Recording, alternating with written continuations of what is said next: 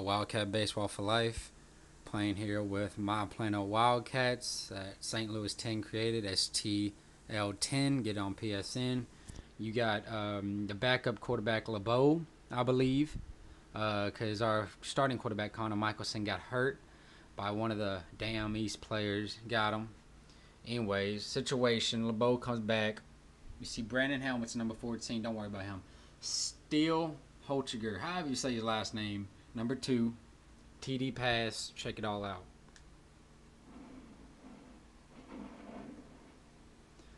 East bites a little bit too much and Steele comes in, steals the spotlight, gets everything. Kobe Douglas still does a little shake. I didn't know Steele could dance like that, but hey, it's whatever. Playing Plano Wildcats on top.